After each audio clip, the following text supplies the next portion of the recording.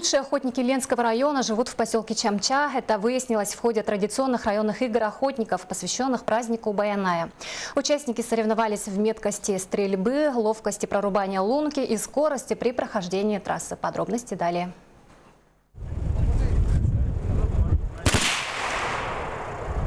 Стрельба, разборка, сборка ружья стали первыми этапами районных игр охотников Баянай. В этом году они собрали 10 команд. В село Натора прибыли добытчики со всего Ленского района.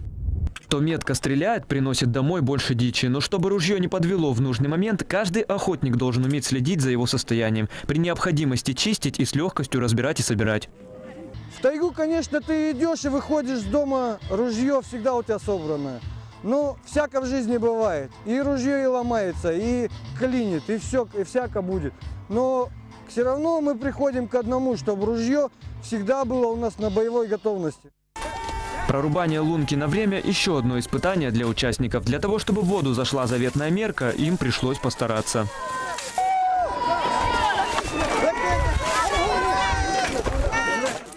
Для того, чтобы согреться в лесу, охотник должен уметь разжечь костер и вскипятить воду. Для людей севера, живущих в тандеме с природой, это не составило труда. Куда больше усилий потребовалось на эстафете. Здесь приходилось бежать по сугробам и преодолевать препятствия с ружьем и рюкзаком на спине. Условия были приближены к реальным. Как говорят участники, практически все навыки могут пригодиться во время реальной охоты. Вот эти задания самые важные, я думаю.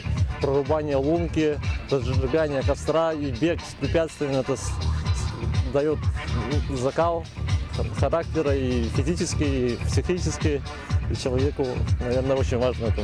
Для якутян охота не просто увлечение. Для наших предков она была источником жизни. Древние навыки передавались от отца к сыну из поколения в поколение. Якут без охоты э, как бы не может прожить в, такую, э, в таких условиях зимы. То есть у нас сильные морозы, не сравнить с э, центральным районом. То есть минус 50, минус 70 где бывает. В этом году лучшими охотниками стали представители поселка Чемча. Они составили достойную конкуренцию лидеру прошлых лет команде Наторы. Дмитрий Вельчевский, Руслан Кириллов, Сергей Счастный, Михаил Сенаторов, телеканал «Алмазный край».